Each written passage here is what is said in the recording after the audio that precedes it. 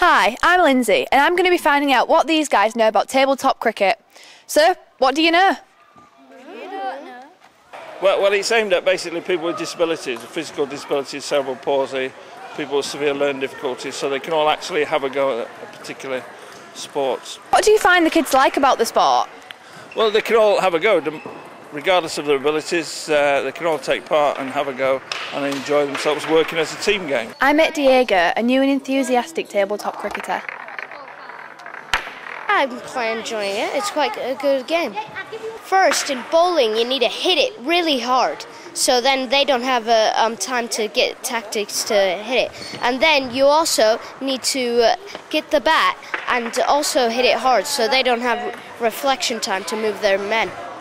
Hi, I'm Lev France and I've been playing tabletop cricket. Um, you have to move these type of slide things and make sure the ball hits the white or the reds and not the green. So, if it is the green, that means you've not done your job properly. Um, it means that they get um, um, a point. My new surfing, I've been playing table cricket. What do you like about it?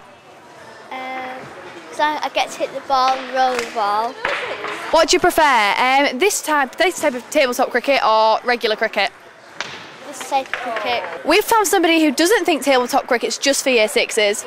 Martin, aren't you a bit big to be playing this? No. Well, yeah, I am actually. But I'm addicted. I saw the year six kids playing it. They enjoyed it. And I need some batting practice as well, to be honest. This sport is perfect for learning new skills in teamwork as well as having a good time. The English cricket team could learn a lot from these guys. Oh, and remember, it's not just for kids. This is Lindsay Verity Book reporting for SMC News from the Academy.